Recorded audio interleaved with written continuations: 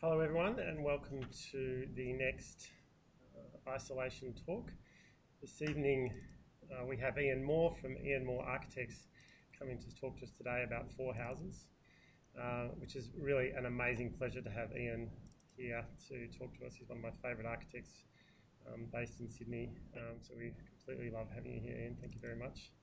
Um, and I'm having some trouble seeing Ian now, which is really annoying because we were seeing you just a second ago. So maybe we'll just talk, Ian, and uh, we'll have a, one of your buildings up until we can sort out what's going on. How are you, how are you today? I'm very well, thank you, Adam. How's your um, How's life in your office? Sorry. How's life in your office? Life in the office is very quiet, apart from the radio. Yes. Uh, no team around me but um, I am getting a lot done, I have to oh, say. Oh, awesome, awesome, it's awesome. Uh, isolation environment that we're currently in. Yes. Um, and I am just having a bit of a problem finding you actually and your slides. Do you want to transition to your slides and we'll just um, see whether they're coming up or whether it's just actually something wrong with Microsoft Teams? We might have to hang up again and come back into it. Sorry to everyone out there listening. Uh, we've had a few technical issues today. We've solved the acoustic problems that we had we haven't solved. Sometimes Teams is a bit testy. Um, Ian, I might get you just to hang up and come back into this again because uh, for some reason this is not picking up um, the fact we've got the program open. Okay? Okay.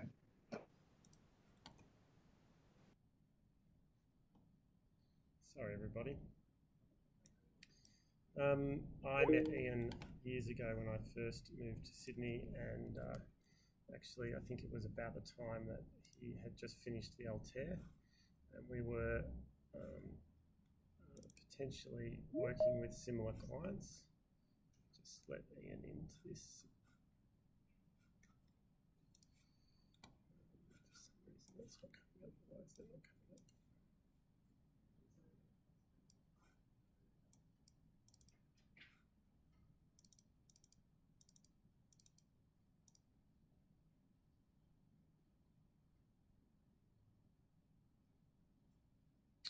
Apologies everyone, I'm just going to go quiet for a little while, so hang slack for me.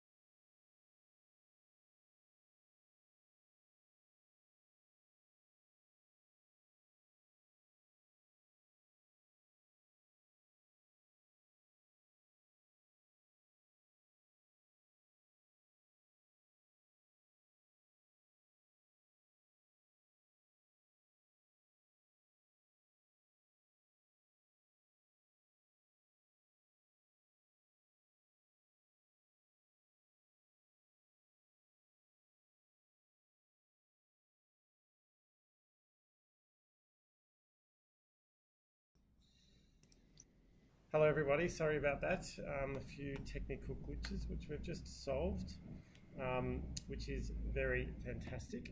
Uh, so I'm just about to transition over to Ian, but I, as I was saying, one of the things that we thought was, was fantastic about Ian when I first met him was uh, he had just finished the Altair in Darlinghurst, and it's probably one of the most fantastic multi-residential buildings in Sydney. Uh, still, I think, one of the most fantastic buildings. And since then, I think uh, Ian has shown an, absolute ability to uh, deliver buildings of the purest form, uh, the, the, level of finish, the level of um, the level of rigor in his planning, the level of rigor in his facades, the level of rigor in the way in which the building is presented is just absolutely out of this world. He's also a person who I love because he's not afraid to use colour, which everyone who knows me will know I'm not afraid to use colour. use colour. Um, so really asking Ian to come along and speak was a was a no-brainer. So Ian, thank you very much, and I'll just hand it over to you. Thank you very much, Adam. Good evening, everyone, wherever you might be tonight. Uh, firstly, uh, I would like to thank Adam very much, not only for the invitation to give this talk, but for actually coming up with the whole concept of this talks program while we're all in some form of isolation. And in addition to that, for having opened the Architects Bookshop. Um, and even better still, in our local neighbourhood of Surry Hills. So um, a very big thank you, Adam, from myself and I know the rest of the architectural community in Sydney. Um, we love what you're doing. Keep it up. Um, I would also like to say a special hello to my team who um, are all working from home, uh, to Danny in Dubbo, to Rothio and her Spanish contingent in Bondi and Madrid, to Maria, who now lives in London. Uh, she and her friends and some of her colleagues from over there are watching. Maria was the project architect for the River House, which you'll see shortly, and also to Emily, who uh, was part of my team previously, and she was the project architect on uh, the Redfern Warehouse. So um, hopefully, whoops, what's happened? Have you still got me there, Adam? I can't see anything anymore. Yes, we've still got you there. Okay, where have I, where's my talk gone? uh, where's your shared window? Can you, we can see, we can see that it's now gone. Um, uh, maybe if you, do you want to jump out of, out of it again? Out of share, sharing the screen? we can see you now, which is kind of nice. so okay. Um, thank you. I'll just see if I can.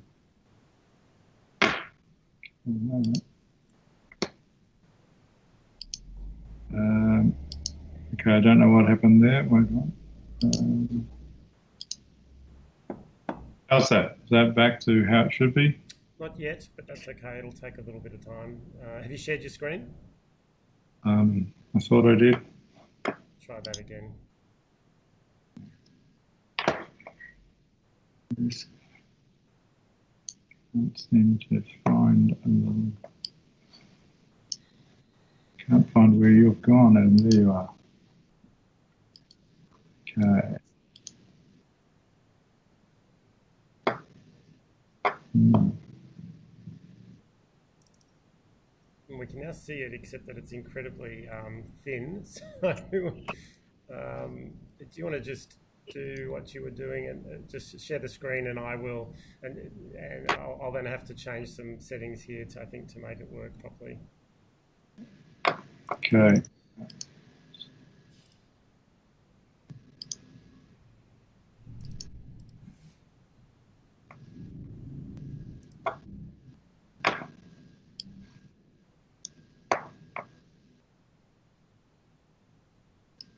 Um, apologies, everybody. I'm just going to try this again. So sorry about this.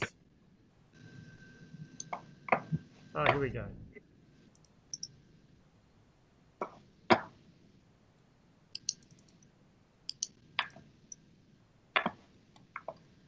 There we go, Ian. We're back. Okay, great. Sorry about that. I don't know what happened there. um, to all of my team. I promise it wasn't me that messed up the technology.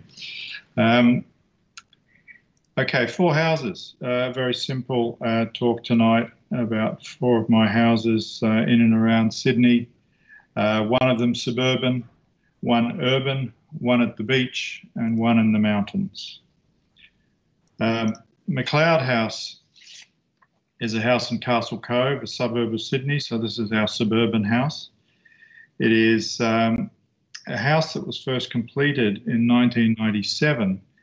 Um, well, the design was complete in 97, I should say. The first um, stage of the building work was complete in 2003, and the last stage was completed in 2015. And uh, we're hoping this year to actually finally finish the swimming pool, which should be the last stage. So it's a project that keeps giving. A wonderful client who comes back every five years gets me to do a little bit more to it. And um, it's really about these two very famous houses in LA. It's, um, I suppose, my homage to these two houses, which I've always loved. I think most people would um, know that I'm a big fan of the Case Study House program um, in LA. And the Hunt House at Malibu uh, has always been one of my favourites, and I have to say, in my opinion, the, the two most beautiful garages ever built. Um, the Stahl House uh, by Pierre Koenig has the um, iconic view uh, looking out over LA. And when I first went to the site in Castle Cove, uh, sitting on top of a ridge uh, with an incredible view out over the northwest of Sydney towards Chatswood, I immediately thought of this house. And um, then when we got to start planning it, the thing that is um, really important about a lot of these houses in, in the suburbs is that you only really get to them by car and that the car is in fact celebrated and, and you don't walk into these houses typically you drive into them. So that's why that image of the hunt house at malibu was so important to me. Um, in looking at the, the plan of, of, this house it's actually an alteration in addition to an existing house uh, that was built in the 1970s and you can see the sort of grey shaded area of the um, the plan here, uh, which is the bit that we kept. We had to keep 30% of the original house in order to keep the same floor area and the same height and the same boundary setbacks as the existing house because the planning controls had changed through the years. And if we'd uh, worked with the new controls, the house would have been uh, much, much smaller um, than what we're able to do by keeping that 30%. And you can see the old double garage door here.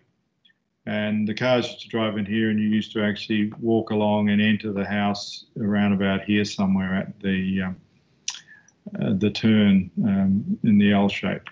Um, but we did things slightly differently. But this lower level, it's really about um, sort of guest accommodation, the family room that opens out onto the pool terrace. That's the pool that hasn't yet been built, that will hopefully be completed this year. A little gymnasium down at the bottom that we excavated uh, about um, 10 years ago as one of the many stages of the project. And then here we have the upper level plan, and you'll see quite clearly here that the twin garages and the entry between them a long corridor with a series of rooms opening off each side and then coming into the main body of the house which is essentially an open glazed pavilion which looks at the quite spectacular view. Um, show the elevations more because I just like these drawings and uh, you know Adam talks about the rigor in my work. Well, you know I do love um, working very hard to achieve that sort of rigorous outcome in terms of both plan, elevation, and, and particularly in section. Um, so these drawings really just um, hopefully reflect that. Uh, on this elevation here, what you do see is the little sawtooth roof, which is over the, the bedroom wing, the entry wing to the house and the corridors in between them, and that allows uh, winter sunlight to come to the bedrooms, which are on the southern side of the house. And you'll see the site falls away very quickly, and in this elevation falls away very sharply to a cliff um, out to the west Um, the other thing about this, uh, in terms of the height of the building, we were so uh, tightly restricted in terms of what we could achieve because of the land falling away so quickly that we only have 2.4 metre high ceilings. And uh, while typically now we have to have a minimum of 2.7, the 2.4 creates a beautiful horizontality in this house, which you'll see in a moment. And I think uh, it was quite important to that thinking, in particularly in relation to the Stahl house and that very horizontal view out really to the horizon um, and everything in between. Um, the section down through the main corridor is also important because it shows um, some large panels, uh, which you'll see in a moment. Um, this is not about cellular spaces with um, small doors. This is actually about an open plan house um, with sliding walls. Uh, the house sitting in its context, uh, surrounding buildings were all developed in, 19, in the 1970s. You can see the old pool that's still hanging on but about to be demolished and replaced with the new one down in this area here. But this was the sort of quality of the houses uh, that was here as well. It was sort of pretty much looked like this guy here. Um, so we've basically given a bit of an update in that little triangle of white painted masonry in there. That's the original part of the house that was maintained. And here's my reference to the Hunt House at Malibu, the two garages, the entry between them, and then you get the big view to Chatswood in the distance, not dissimilar to the, the Stahl House. Maybe not quite as iconic a view as the one over LA, but um, still pretty significant view. The other thing I need to say about my client is that he is a collector of all things Philippe Starck, uh, which people ne wouldn't necessarily associate with me. Um, but he's such a great client. And uh, one of the better things that Philippe Starck has ever designed is this little Aprilia motorcycle, which he um, has proudly parked in one of the garages. And uh, before we even started the design of this house, he told me all of the pieces that he had collected, um, including taps, light fittings, door handles, even a toilet suite and a bath that uh, he wanted me to use in the house. So that central corridor with that idea that it is not um, a dark, narrow corridor with small doors opening into cellular spaces. It's about these big sliding screens so that you're borrowing not only the space of the rooms on either side of the corridor, but you're actually allowing that light to come in and it becomes quite a luminous space as you move through it. And one of the kids' bedrooms on the southern side, and you can see the rake of the ceiling there going up to a high level clerestory window, which um, in winter they can allow deep penetration of um, sunlight right through to the windows on the other side. Um, on the other side from that, the ensuite of the main bedroom, where we've got a little curved ceiling tucked up into that um, high level window. And then the main bathroom, and you can see very clearly here how the, the rooms on either side of that corridor form a much larger space as you move through it if these panels are in the open position. And then the staircase, uh, again, which should have been a dark space, top lit, so it becomes a very, very luminous space, almost like the the end of this pathway leading you through to the main part of the house. Um, similarly, as you're coming back up from the lower level, you're really drawn up by this um, incredibly luminous ceiling above you. Um, the TV room without a TV, and then the main space. So, uh, as I said before, that um, cluster of towers in the distance, for those of you who know Sydney or live in Sydney, that is Chatswood. So, it's like the third or fourth sort of cluster of big buildings in Sydney up on the um, North Shore. And you really look out over the roofs of all of the surrounding houses um, to that distant view. And you can see the very low ceiling height at 2400, but because of the expansive nature of the view, it actually feels very comfortable. looking back the other way, the other thing about it is, is also this idea, which is common in many, many of my projects, is to really dissolve that boundary between the interior and the exterior spaces so that terraces, balconies, courtyards really become part of the inner space just to create big, big open spaces, uh, which we can do very well in our very benign climate in Sydney. Um, and then looking back to the bedroom wing and the garages and the front entry, um, you can see some of the uh, sandstone outcrops which occur all over the site that we're sitting on top of. Uh, the louvers for privacy and sun control from the northern sun. And looking back in the other direction, you can see that lower level family room that opens out to the pool terrace. So that was my little homage to the LA case study houses. And then we moved to the beach. Um, is um, a beach about two hours drive south of Sydney on the south coast. It is um, at the northern end of Seven Mile Beach, and it has a river called the Crooked River that runs into the northern end of the beach. So while this is at the beach, it doesn't actually look at the beach, it looks at the river. And the river is over here to the south. And um, it's a great view. This is the, the southern boundary of the site is actually a six metre high cliff that falls down to a public reserve on the edge of the river street is over on the northern side, so the sunlight's at the street end, the view's at the southern end. So it's that typical problem, you know, where the view and the sun are at opposing ends of the site. Uh, on this lower level, uh, my client wanted a self-contained apartment so that she could let it as a holiday rental. And when uh, she had large groups of family and friends staying, this door at the bottom of the stairs could be opened up and the whole house could be used as one. There's a separate entry coming down here so that when it's a holiday rental, they just make their way down and they have the backyard to themselves. Whereas on the main level, um, the front courtyard really is part of this living space. Street out on the northern side here, and the view to the south, as I said, captured from this deck. Um, so that dichotomy between you know the sun, the view, how we deal with those. Uh, really, the concept here was to make a linear living space that runs from north to south and links both the courtyard and the deck, the sun and the view.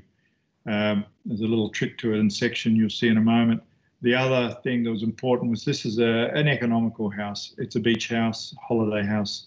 So, and I also wanted to use no structural steel in the building. It is all timber construction. So to reduce the spans to something that were uh, able to be achieved with standard sort of off-the-shelf LVL joists, we introduced uh, a thick wall running down the spine through the centre of the house to allow us to span onto those to keep these open spaces on either side and then utilised that thick wall for kitchens, for storage, wardrobes, even the barbecue and the downpipes from the big gutter integrated into it there. Um, the section is probably the most informative and uh, it shows the roof being angled up so that the winter sunlight actually comes right down into the living area towards the southern end and then a secondary pop-up roof which is actually at the angle of the winter sun, allows the winter sun to actually come out and completely uh, cover the rear deck in sunlight, even though it's at the southern end of the house. Looking at it from the public reserve down below, uh, it's all clad in tallow wood, which um, I haven't been down there for a couple of years, but I'm hoping that by now it's a nice silver grey and it'll really tie in with the uh, windows and doors and the roofing. Uh, so it was always envisaged as a sort of silvery grey building eventually. But you can see here in this view how the living space is just one great long tube of space that runs right through to that very important view out over the river and the national park of Seven Mile Beach beyond and uh, the idea that you sort of arrive and have a separate front door from the cars. Um, and again, that will hopefully be a nice silvery grey facade by now. And then from the backyard, very simple construction, but as I say, all timber and everything uh, used to connect it is uh, marine grade stainless steel. So all the bolts and um, gusset plates and everything else all 116 stainless steel. And then probably the big uh, move is very apparent here in, in two respects. One is the pop-up roof over the living area where you can really see that sunlight coming down and going right through to the deck at the southern end. But I suppose the most dominant thing here is the colour.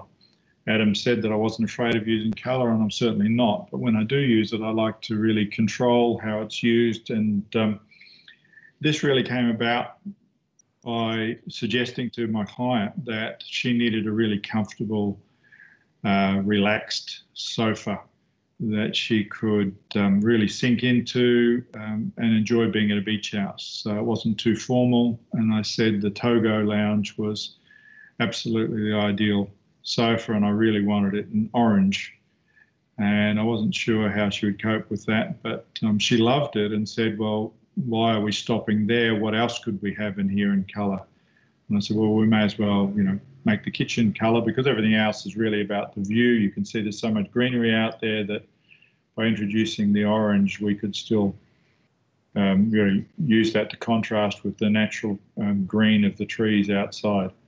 Um, in terms of the other materials inside, it's very simple, obviously white plasterboard, but the floors are not concrete. They may appear to be concrete, but they're actually grey cork, which is a material I use a lot, 100% natural, environmentally friendly cork.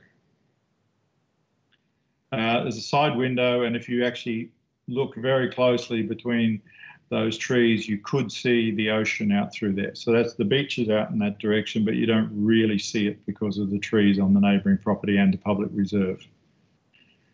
Um, the kitchen, uh, it, was a bit of fun, you know. Um, and I think when I introduced the colour, it's really about saying here's an object which is not part of the structural system of the building. It, it's uh, an element which almost reads as a piece of furniture within the space. Um, you could almost argue that it's a sort of de facto artwork on the wall of the space. And then this image is my homage to the original 1970s advertising campaign for the Togo Lounge. And for those of you who have seen that, you will know that this image is virtually identical, except that it was shot in Palm Springs, and instead of the trees outside, you actually saw the mountains um, surrounding Palm Springs. Um, but in all other respects, we've been uh, pretty faithful to that original advertising campaign. Um, the deck, which is really what it was all about for my client. Um, she was adamant that despite it being on the south side, this was where she was going to spend all her time. She had no interest in the northern courtyard. She said it was adjacent to the road, and so she would never spend time out there. Um, so, uh, you know, I, I, don't think that'll be the case once the hedge and the trees at the front are fully grown. She'll be spending a lot of time in winter out the front, but this is really what it was about for her, and in particular, this view down to the river. So that's why it's known as the River House. Um, then also you can see the, the sort of thick spine running through the centre here, which integrates the barbecue. And then from the bedroom, this is what, again, the view that she really wanted from her bedroom was of the river. And what we did was we um, helped really um, give both people, no matter what side of the bed you're on, that same view by mirroring the wall at the other end of the bedroom can also just make out that other pop-up roof over the bedroom, bringing in that northern sunlight as well. And then into the sort of most luxurious um, part of the house in terms of materials, the bathrooms. We used actually a very cost-effective marble tile, which was actually made from all the offcuts in the marble quarries and uh, and from making other marble slabs. So it wasn't actually all that expensive, and it's about making things that are very durable, that are timeless, and I think that's what my architecture is really about. And this bathroom, hopefully, is, is a bathroom that is hard to actually date, um, and it will be very, very durable and serviceable for its entire life. Then, when you go down the stairs, you get to the lower self-contained part of the um, house, which is relatively simple. Um, it's uh, very simple in terms of colour as well. It's just white and grey, so no no bold colour down here.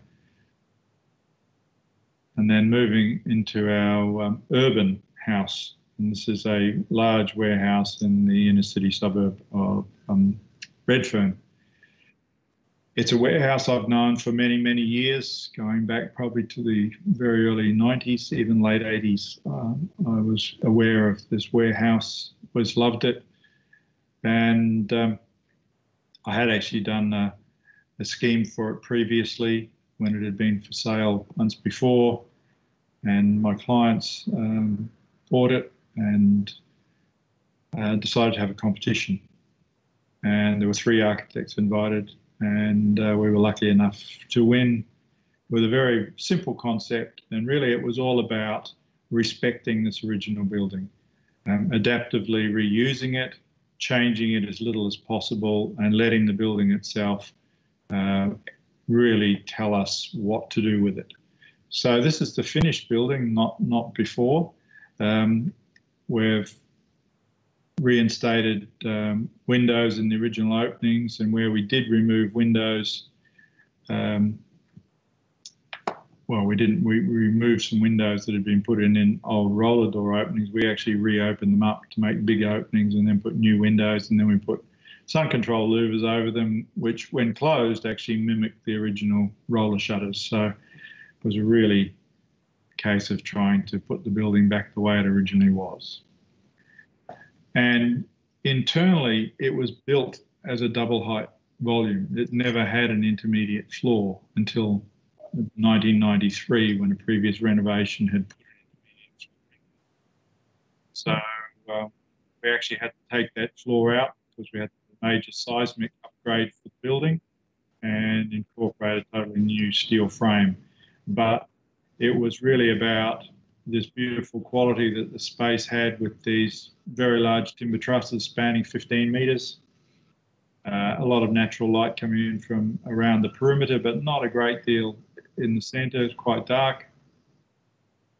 And looking the other way, this is just after we took the roof off the northern end to create one of our two outdoor rooms, which you'll see shortly.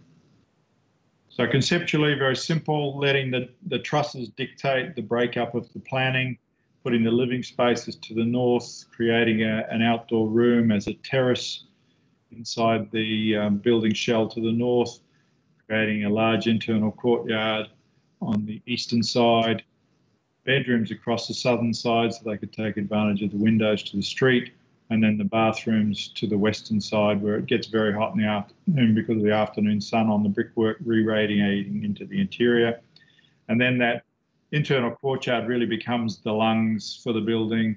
It allows the natural ventilation to work extremely well, and it also provides views from what would have been internal spaces now to an outdoor space, and even views from the main bedroom and the living spaces to the sky. In terms of the plan, uh, one of the most important aspects of my brief was to provide a garage for approximately 10 cars. Um, so there's some car stackers which house eight classic sports cars, uh, a couple of, you know, day-to-day uh, family vehicles, full equipment room, the workshop for the cars, bin room, courtyard with a small swimming pool, uh, self-contained guest accommodation, entry hall, and then this is a home office for one of my clients. Uh, it's an equine genetic laboratory. A very unusual thing to design. Um, but what we really did was put all of these ancillary spaces on the lower level. The upper level is in effect a single level house. So starting with a 915 square meter building by cutting the holes in it, we got it down to about 756 square meters. And then the house itself is basically half of that. So um, it's it's still a, a, reasonable sized house. There's no question about that. But it's um, but when you think about it being around about the 350, 360 square meters, it's not um, overly large for a four bedroom house. And it's really, they live on this level and they only go down that big yellow stair when they're either going to work or leaving the house. Um, in terms of section, we're actually dealing with a space which is in effect three stories in height when you come into the main entry hall. Uh, it's a large scale building, and so a lot of the work we did was about dealing with that scale and emphasizing the scale. Uh, so from the street front, the other benefit was that the building always had two addresses. Um, so we've used one for the front door for the house, and the other address is for the front door for the laboratory, which is next door. And it was very important for my client to be able to leave home in the morning before going to work. She just walks out the front door of the house, turns around, and goes back in the door of the lab. But it, it effectively separates the two, which is really important to her. And the lab is inside those large windows. Um, and here's the laboratory. And uh, it's actually the perfect work environment for coronavirus. These are glass screens which prevent cross contamination between the workstations. So perfect for sort of isolating yourself with a glass screen from your co-worker next to you. So uh, we knew this this was coming, so we got ready for it. Um, the other thing that's really important about this space is because it's a home office and not a commercial space, it doesn't have to be fire rated from the main house. So we're able to have a translucent glass wall between the house and the office so that we're borrowing the light from the house side where the big courtyard is, letting light come into the laboratory. On the other side of the wall, you can see the wall on the left-hand side that we were just looking at, and then the big new courtyard, which has been cut into uh, the centre of the warehouse. And the other thing that was um, quite important about this was that uh, we weren't allowed to excavate below ground level. Uh, council were convinced it was a contaminated site, which it wasn't. Um, but we, we didn't mind this idea of building the courtyard and, uh, at a slightly elevated level, and this is actually the depth of the swimming pool as well. So the pool sits above the original ground level. So you access that courtyard off the half landing of the stair. This is the courtyard looking south, and that um, sun screening is to the bedroom and the guest room, um, and then looking north towards the living spaces. The other two important things about the brief from my clients. Um, they really didn't want to have um, a, a, building that was um, a warehouse and then turn it into a house. In fact, they wanted it still to feel like a warehouse and they wanted the materials to be economical, tough, um, sort of off the shelf materials that could have existed within this um, sort of industrial commercial building before they came along. So it was about retaining that uh, industrial quality to the building. And then the uh, idea that you don't break this building up, you still want to see that volume, that original warehouse that you saw in those first couple of uh, photos. So we created a horizontal datum, which was at the underside of the, the bottom chord of the trusses, and all solid walls stop at that point so that everything above that is actually clear glazing so that we can see the continuation of the trusses. And we can actually from one end of the, the building to the other we can see the ceiling so that we can see the full extent of the space and you also see in the shot that every time you're moving through the space you're actually looking into that internal court um, the other materials that we introduced are the, the, baby sort of corrugated corrugated uh, iron ceilings, which is perforated um, in most of the spaces, not perforated in the, the bathrooms.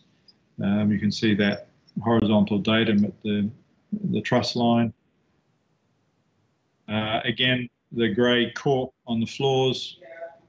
And again, this uh, even the ensuite in the main bedroom follows that same principle of the clear glazing at the top.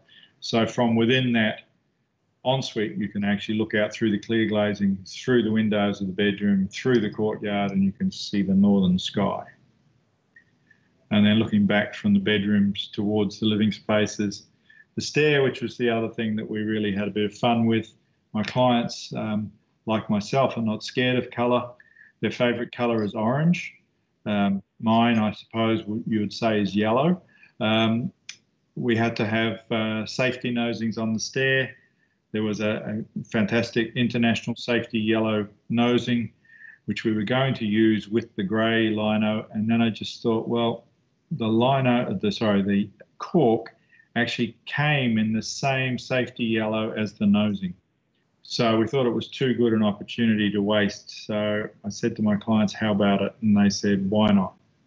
So that's why we have that yellow stair. A bit of fun. Um, and then this is really where you get the majority of the colour comes into the living spaces. Um, it's about scale, it's about texture. So we've revealed by taking off many, many layers of paint the original brickwork. This is the best we could do in terms of removing the paint, but you can see that patina of the original brick walls, and my clients were very keen to leave that in its original condition. Uh, then everything that's new is nice and sharp and clean and white, and then all the steel work in the floor all painted grey or grey cork. And then the furniture was the really the element that we introduced the colour in. So uh, it's also an enormously large space for a living room. So you can't just put a normal sized piece of furniture into it. So this is, you know, extra soft by Living Divani, Piero Lissoni's beautiful modular sofa system, and you can do really great things like having parts of it facing different directions so that you can sit on part of that sofa and talk to people while they're preparing dinner in the kitchen, or you can be on the other side watching TV or listening to music. And what's really great is the kids actually come flying down the corridor and use this open corner to actually do forward rolls onto the sofa. Um, so, you know, little unexpected things. I didn't know that by designing that open corner, that was what was going to happen, but inevitably things like that do happen and they're, they're welcomed. Um, and you can see from this living area how important that central courtyard becomes, not only from the terms of natural light and ventilation, but you get an outlook into it. You start to see the palm tree growing up, which eventually will be uh, very much in the middle of that view. And then looking back towards the kitchen space, and again, everything's overscale. There's a seven metre long kitchen bench, which um, any shorter and it would have looked a bit silly. Um, and then looking back from that space into the courtyard, looking at those big timber trusses. Um, and, you know, it's hard working with a building um, which wasn't meant to be quite so refined.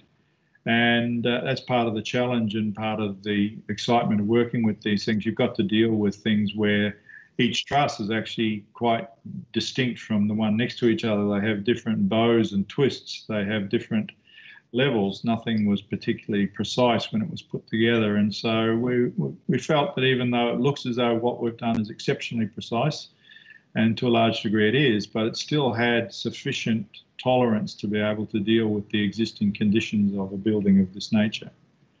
Um, and also the extra space within a building like this allows you to have multiple areas in which to sit. You can do different things. Um, this is just a nice space to sit and watch the kids actually swimming in the pool or just to contemplate the courtyard and the sky. While in the other direction, out on the northern end, where we've taken the roof off completely to create this outdoor room, uh, it was really about letting the sun come in to the living spaces, really enjoying an outdoor space, even though you're elevated above the street. And even to the extent where my clients were uh, very keen to have real grass on that terrace, both for the kids to play on and also for the dog. So that is a 300 millimeter deep mixture of fly ash and soil to take real grass. Um, and then introducing the landscaping so it really sort of softens it. And then again, that contrast between the, the organic um, nature of the landscape, the precision of the new steel and aluminium structure, and then the texture of the old brickwork so all those elements are working together to create, uh, I think, a pretty harmonious outcome. Um, and then looking back, and you really get a sense of the scale of the space. Um, you see the internal courtyard. You really get a sense even of the main bedroom, which is beyond that again. So that idea again that you read what was this big open warehouse, you still have the ability to read it from one end to the other. And the threshold between inside and outside again dissolving, just as the, the house in, in Castle Cove. Um, that idea that they are one in the same space and you only close it when you absolutely have to. and then this space, the garage, and really I have to say this is where it all began because my client had searched for six years for a warehouse in which he could bring his collection of cars together in one place. And so we had a little bit of fun creating a, a garage that was, you know, very crisp and clean, like a Formula One pit. Um, great little car stackers. We had 10 millimeters to spare when we got these things in. Uh, it was perfect fit. Luckily, they're all Porsches, so they're quite low.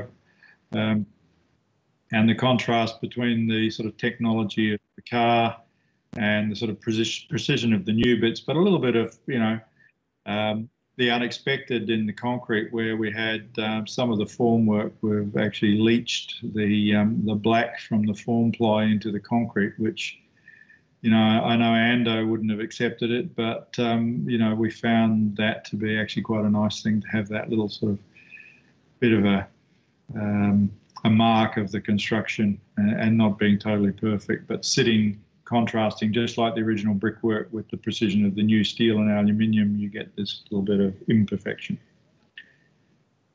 And lastly, uh, wanting to go up into the mountains. So those of you who know Sydney will um, no doubt know the Blue Mountains. Uh, Mount Wilson is right up at the northern end of um, the Blue Mountains. And uh, my client's briefed to me, he showed me a picture of the Farnsworth house. He said, I want one of these but because it's up in um, the mountains and a, as a rural site, I, I, think we've got to somehow pay homage to the uh, corrugated iron sheds and the farm buildings um, around there. So he said, if you can marry the two together, that would be my ideal holiday house. So that was the starting point for the development of this house. Um, it's right at the end of the road from Mount Wilson. Can't go any further north than this. Um, our site is the yellow bit, obviously. It's 11.2 hectares, the majority of which is um, uh, eucalypt forest, which is, in a sense, part of the Blue Mountains National Park. It's completely surrounded by the Blue Mountains National Park. And um, the interesting thing is, I look at the subdivision plan, and every time I look at it, I have a bit of a chuckle because I just think, what were they thinking? I have absolutely no idea how you come up with a subdivision plan that looks like that because there are no features that make any sense of that shape. Um, but that's what we've ended up with. Anyway, um, so here's our little uh, house down here and north up the page, the contour is running to the northeast and the view is actually down the valley here to the northwest. So the rest of it is completely covered in beautiful eucalypt forest. There's a another neighbouring building down here which is, has got a reasonably big clearing and there are other small little pockets development, but they're all very close to the road. So this is um, the location of the, the house very close to the road. It started as a single pavilion um, with a later addition of a small guest pavilion and a swimming pool. And the swimming pool was really um, part of a, a, requirement for firefighting, um, as well as obviously the clients, you know, thinking it wasn't a bad idea. But uh, we've got a bushfire attack level of 40, which is um, the second highest. Um, the council wanted to put us in the flame zone, and we had to fight very hard with them to get BAL 40 to be accepted, and we can achieve BAL 40 uh, quite easily with a steel frame structure and steel clad structure, which is what we were always intending. So we managed to uh, get them to agree to that, but only after the tragic bushfires of earlier this year. Up until those fires happened, they were adamant they wanted us to be in the flame zone, but after those fires, they reconsidered and they felt that people perhaps shouldn't be creating concrete bunkers to live in and that BAL 40 was a more reasonable outcome. Um, so we do have to clear 30 odd trees um, to the northwest, which is where the fire would come up the valley, uh, which you know obviously um, enhances the view for my clients. Um, and when you've got a site with over 1,500 trees on it, the loss of 30 trees was deemed to be reasonable. In terms of the plan, it's a very modest two bedroom, 90 square metre house. Um, the Farnsworth House uh, reference has been very loosely translated in this um, plan. It, it's very rigorous again, the two bedrooms, a, a, central pod containing the bathroom, kitchen and laundry, and then an open plan living space, primarily focused to the northwest where the view is. And two big water tanks, one dedicated for firefighting, the other one for drinking water. And really this is uh, what the house is all about, this elevation. And the house is about providing shade and weather protection and collecting water. So the form of the building is about those two things. It's about this big roof that's draped over the top of a very simple regular steel frame and it just lets the water run down the hill to the big tanks at the southern end the northern end, we have this uh, 3.6 meter cantilevered roof, which really is, is like a big cloak that's been thrown over the top of a frame, providing this very shaded northern uh, terrace. The other thing that we had to do, um, my clients didn't want handrails. They didn't want to be up off the ground. They wanted to be able to just step off the house onto the ground. And the fire requirements wouldn't allow us to have an open undercroft if it were elevated. So what we did is simple balanced cut and fill, uh, take a little bit out uh, on the entry side, push it down the hill a little bit to form the other side of the platform. So no material actually leaves the site. There's, there's very little uh, change to the natural state of affairs on the site because of that. And then on the, the western elevation, which is um, obviously taking in that big view down the valley to the northwest. It's quite significantly shaded because there's an enormous number of gum trees right in front of it, but um, and it has the overhanging roof. Southern end is really all about the water tanks and providing protection from that the southern winds in winter. Solar panels on the roof, so it's effectively a self-contained, um, off-grid building sitting up in the mountains uh, section, very simple. And I think the most important section is this one because it's about hierarchy of space. The most important space is the terrace on the northern end where you've got a, essentially a double height space with this big overhanging cantilevered roof.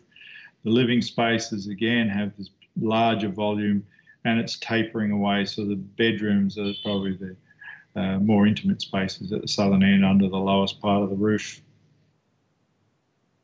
and then this is uh, what it will hopefully look like um, in about a year's time when we finish construction. So it's just about to start now. And, and just the, there's one last little bit of this talk, and I just want to show the mini me that came afterwards, which is the little guest pavilion. Um, they decided that you know the house was primarily for themselves and their son, so that was why there were two bedrooms but it's a three hour drive from Sydney. And so if friends and family did come to visit them, they were unlikely to drive up, have lunch, turn around, and drive all the way back um, to Sydney for another three hours. So they decided it was probably a good idea to have a little guest pavilion with two bedrooms, two bathrooms, and another water tank.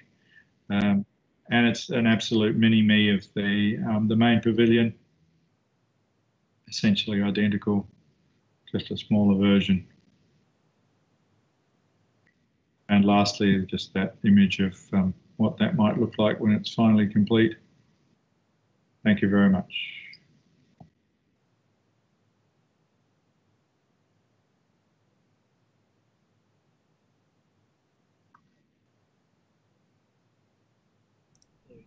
Awesome, man. That was really fantastic. Uh, really appreciate it. It was really awesome, you know, fantastic work. Beautiful to see it.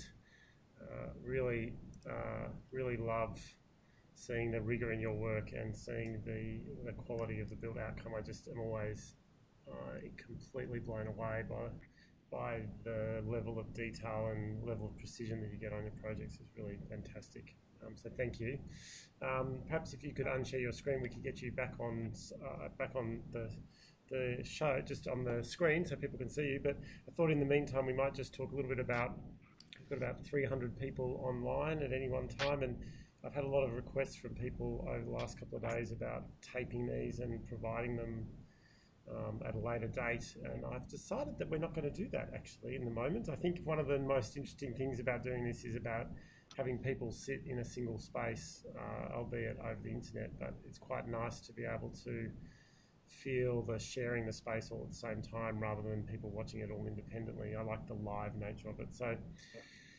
Um, so yeah, so we, we will probably not be doing that. But Ian, thank you very much. Um, really love uh, having you uh, having you there's a couple of questions that came through. One of them was about um, the warehouse and was keeping the warehouse a council requirement, or was that a was that something that you the client wanted, or you wanted, or what was the strate- strategy behind keeping it?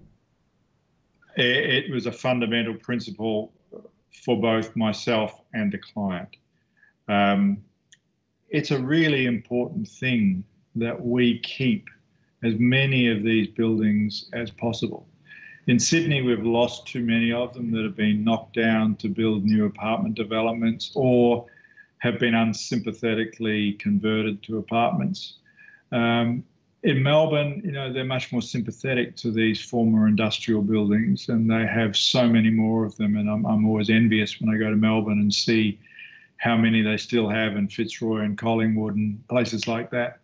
Um, and, you know, I live in a little warehouse myself. Um, so, you know, I have a, a real affinity for them. And, and, just in terms of, you know, the environmental impacts of demolishing and rebuilding, I just, I can't um, support it. And my client loves warehouses. He, as I said, had searched for six years to find this one. The last thing he wanted to do was knock it down.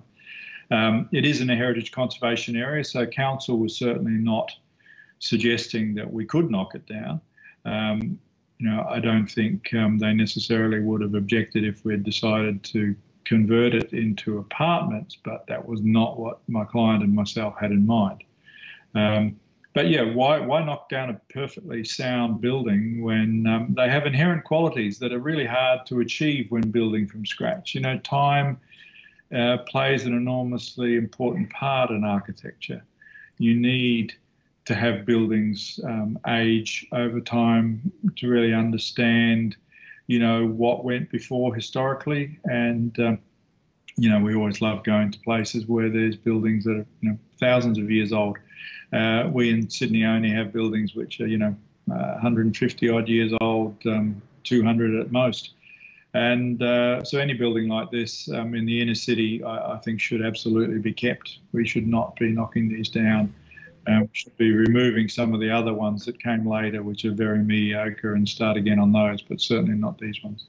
And so then, just kind of moving on from that as an idea, what somewhat Chu I think was asking on the on the questions coming through about what are the core values that define your design approach? Like, how, what do you do? What, how do you sit? Like, your your your schemes are all incredibly rigorous, but what's what's behind that? What, what's the kind of values that you're placing at the front of the project when you sit down and start?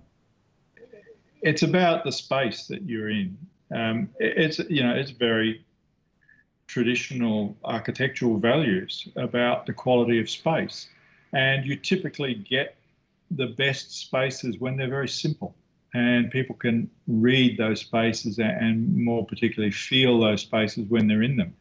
If you get too complicated, create complex volumes, uh, complex plans, um, I, I, feel uncomfortable in those spaces.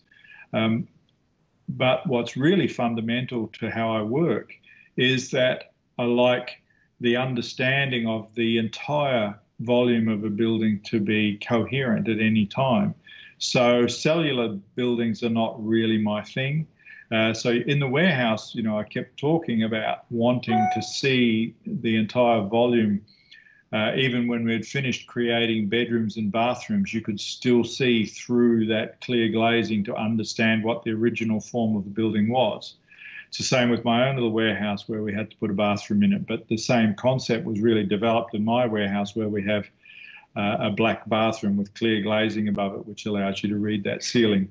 Um, in the house in Castle Cove, that idea that even though, again, you've got bedrooms and bathrooms, the sliding wall panels open up so that they bleed into each other. They become one space that just has these divisions in it, but you read more than one space at any one time. And so it's um, it's that idea about space. And I find that if you have a very clear plan, very clear circulation, and you sort of culminate in a special space, you know, primarily the living spaces, which have extra height typically, and, and an enormous number of my houses and even some of my apartments have double height living spaces with mezzanines. And those spaces to me are the best because it's volume, which is so important to us. Mm, absolutely. Uh, and that's, that's hard to achieve sometimes, you know, particularly with um, developers uh, mm. wanting to maximize their return for floor area and you're wanting to cut a double height volume into a space. You know yourself how hard that is to achieve. And mm. but we did work very hard on a lot of apartment buildings to, to achieve that, and we did. So I'm, I'm very proud of that it's going to be interesting what happens um, after the coronavirus lockdown and to see what effects that has on the housing desires of particularly in Sydney, I think, in terms of that ability to have bigger spaces, like more open spaces, outdoor spaces attached to apartments, but more of that next time. Um, there was a question, um, which I quite like this question, but someone asked for your top two books, architecture Ooh. books. Well, there's actually two. Um, one is, is, Esther McCoy's um, book on Craig Ellwood. Uh, Craig Ellwood's always been one of my heroes. Uh, I suppose that he has a similar background to me, or I, I should say I have a similar background to him, uh, where I came from a building background. My father was a builder in New Zealand. I grew up on building sites, and then he, my father, made me go into engineering uh, whereas I always wanted to be an architect. So I've come via that same sort of building engineering background that Ellwood did. Um, the difference is that I am actually a qualified architect. He was never, but he was still an incredible architect. Um, the other book is a book on Jose uh, which uh, I bought, I think, back in about 1987, 88 um, from Lamella, um, the other great bookshop we used to have in Darlinghurst. Um, many, many years ago, long since gone. And that book on Coderch's work was so influential uh, on my career. Uh, I actually won a scholarship back in 1990 to travel and study um, his work in Barcelona and Girona. Um, so I, I, spent a lot of time in Spain uh, seeking out all of his buildings and they are incredible. They are still incredible to this day. His Barceloneta apartment building is one of my favorite apartment buildings in the world. Uh, his Ugalde house is um, incredible, and uh, his studio for the artist Tàpies in the center of Barcelona was always uh, one of my favorite sort of live workspaces. So I think those two would be at the top of my list. Awesome. We might put them up on the website so that everyone can have a look at what they are. Um, just a couple of things to finish off before we say thank you. Uh, if you, if anyone wants to have a look at our website, we've actually got some special orders up at the moment. We are having challenges getting stock from um, Europe at the moment, given what's happening around us but we have secured some special orders from some of our suppliers. So we've got some, we've kind of got a hit list of the best books uh, from the from the web from our from our perspective. So jump on, have a look. You can place an order for those. Um, just in terms of what's happening, uh, just to make sure to we say hello also to all of our European watchers. We've got everyone in the UK and uh, pretty much all of Europe having breakfast at the moment. So uh, we've had a lot of emails about that. So thanks for watching. Um, we have coming up in the next couple of weeks, we've got Jeremy McLeod from Breathe Architecture, Andrew Burns, uh, Philip Vivian, Camilla Block, Block uh, Sasha Coles. But next week we have Lee Hillam and Ashley Dunn from um, uh, Hillam and Dunn, or Dunn and Hillam Architects. And we have Andrew Burns from Andrew Burns Architects who will be talking next week. Uh, we'll continue to announce them. We are also uh, going to have one or two internationals. We've just confirmed the first one, an Irish architect, who we'll announce in a couple of weeks. So that's going to be super exciting. But if there is anyone who you want to see, send us an email or uh, send us something on Instagram because it's the easiest way to get in touch with us. Uh, and we'll see, we'll reach out to them. We've got a few desires our, ourselves. We'd love to get Glenn Murcutt on, so we'll see how we go with that. Um, and uh, I've asked Brit Andresen today if she would do it. So we'll see whether we can get some of those people. But thanks, Ian. We really appreciate it. Um, really great to see you and to see the work and uh, to you know talk to you about what's going on, and we appreciate you. You're a massive supporter of the bookshop, so again, we thank you for that. Um, but most importantly, we thank you for the contribution you make to the city of Sydney. It's a really amazing. Your work's amazing, and uh, you know we, we can't speak highly enough of it. Thank you, thank you. My pleasure to be here. Awesome. Thanks. We'll see you soon.